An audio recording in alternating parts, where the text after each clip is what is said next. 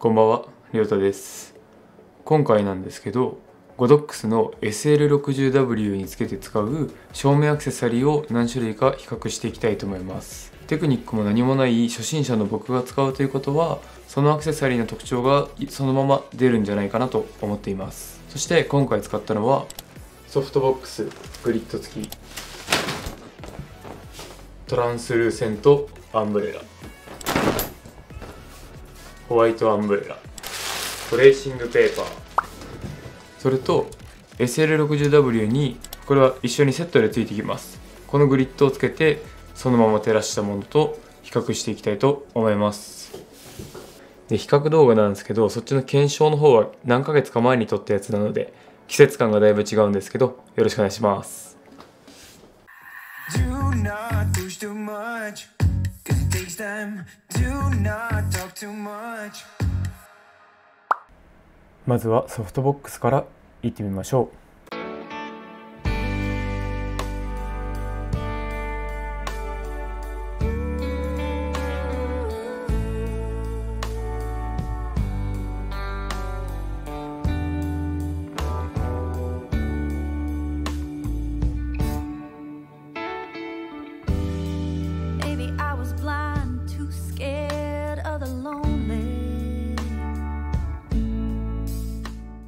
続いてトランスルーセントアンブレラ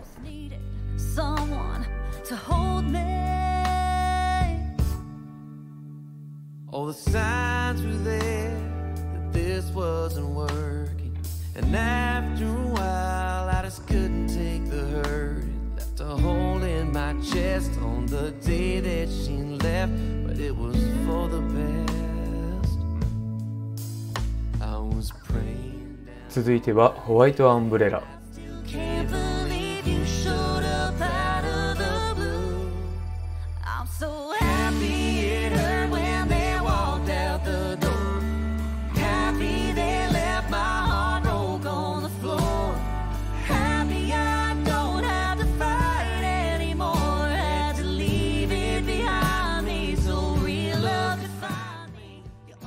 続いては SL60W に付属してくるリフレクターにグリッドをつけたものです。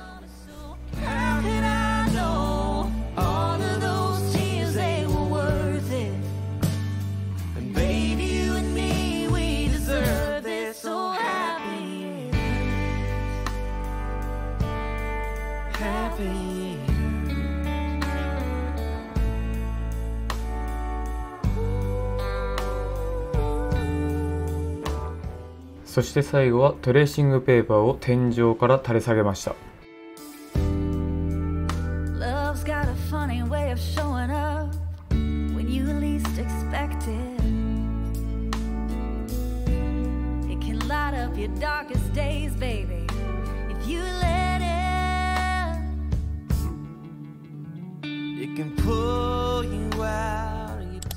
それでは最後に5種類まとめてご覧ください。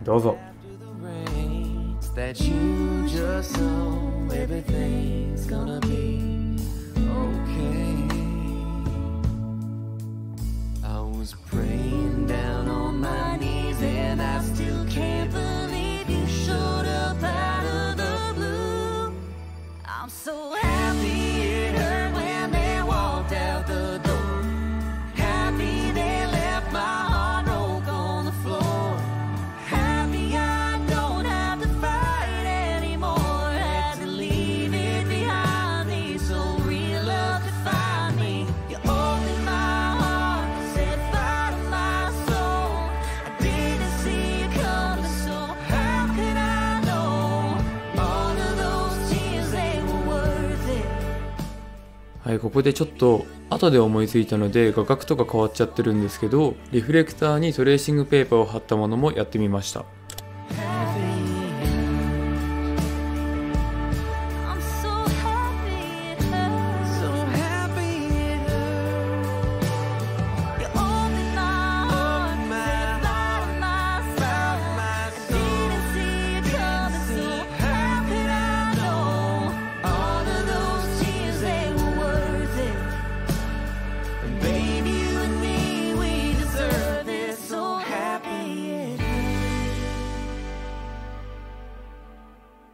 はいということでいかがだったでしょうか？で今現在の設定なんですけどフレームレートが24フレームシャッタースピードが50分の 1F2.8 ISO125 で撮影しています。で最後のリフレクターにトレーシングペーパーを貼っただけのやつがあったんですけどそれはもうこっちにすごい影が落ちてたんですけど今リフレクターにトレーシングペーパーを2枚貼って使ってるんですね。今この状態がそうなんですけどでこっちにもう1灯パネルライトがあってで背景を照らす照明がこっちにあります、まあ、ここまで焚くと影は落ちてないんじゃないかなって思うんですけど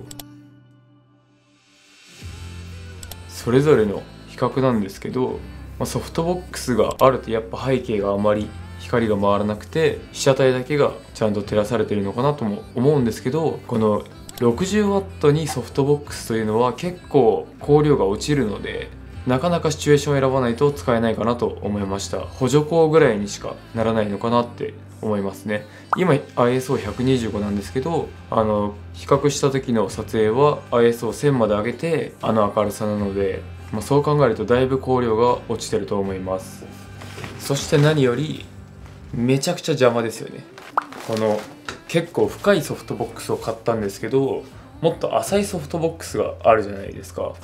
もう買うんなら絶対そっちだなと思いました。普通の一般家庭の室内ではめちゃくちゃ邪魔ですね。なのでなんかイルコさんのおすすめだったアパチャーっていうんですかアプチャーっていうのか分かんないんですけどそれとかちょっと高いけど狙ってみようかななんて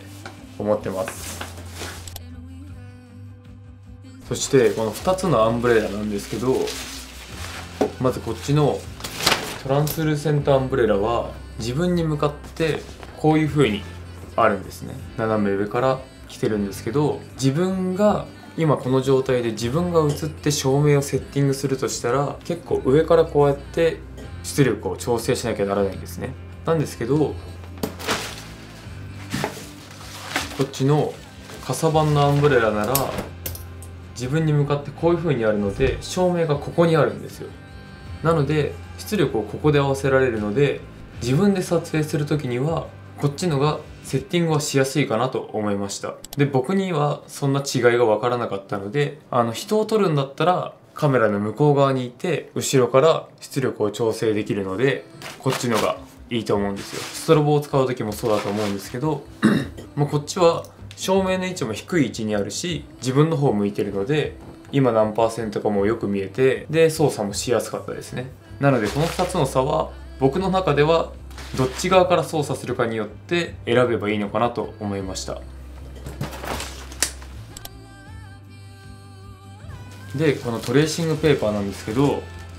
僕はこのロールで買ったので3000円ぐらいしたんですけど場所によっては切り売りとかもしてるのか、まあ、A1 とか B1 とかのサイズで買えるのかとかわからないんですけどロールで買わなければ結構コスパも良くていろいろ使えるしもうソフトボックスもアンブレラもとにかく邪魔なんですよ。あの6畳2間しかないのでうちは。その6畳の中にあれだけ開いちゃうとなかなか邪魔なんですね。でソフトボックスは畳んだり出したりが僕の買ったやつはめんどくさいんですけど、まあ、アンブレラはまあスッとしまってカバーかけてポイッと置いとけるんですけどもうこのトレーシングペーパーかけたこの照明で満足できるなら見た目は悪いんですけどあのコスパもそして室内の占有率もかなりいいんじゃないかなと思いました。でこのリフレクターにつけるグリッドなんですけどこのグリッドが網目がすごい細かいのであの結構光量が落ちますね。ないと結構明るいんですけどもうこれつけるとぐーっと暗くなっちゃうんですね。であとまあ何にもディフューズしないで当てるっていうのはなかなか硬い光なのでやらないかなとも思いました。なので最終的にまとめると、まあ、なんかディフューズしてればそれなりにいいんじゃないかなと思いました。あのもっとねそういう光とかを見る目が養われていったらいろいろ違いが分かるのかもしれないんですけど初心者の僕としては何かしらついてればいいかなっていうところで僕のトレーシングペーパーが一番良かったなと思います。であの天井から吊る下げたりすると